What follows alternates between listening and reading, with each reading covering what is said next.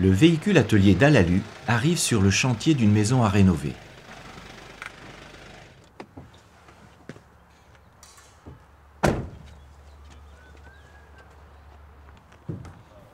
Le spécialiste prépare son intervention.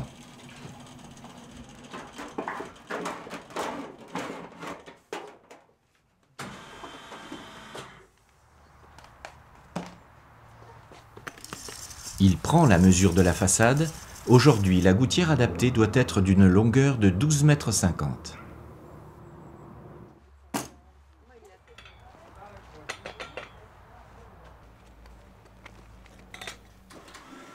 Il met en route la machine appelée profileuse qui fabrique en un seul morceau les 12,50 mètres de la gouttière.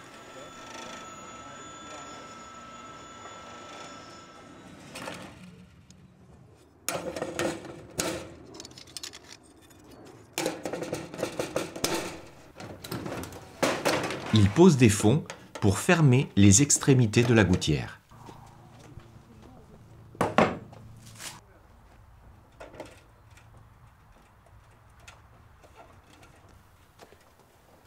Puis, c'est la mise en place au bord du toit.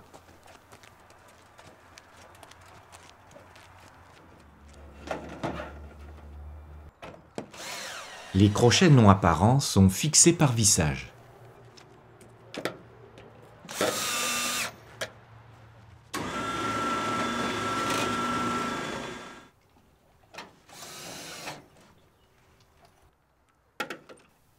Le tuyau de descente d'eau est ensuite raccordé à la gouttière.